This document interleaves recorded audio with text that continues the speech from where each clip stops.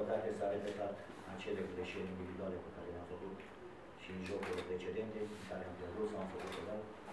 E inadmisibil la nivelul ăsta să, să faci niște greșeli. Nu, nu se poate așa ceva.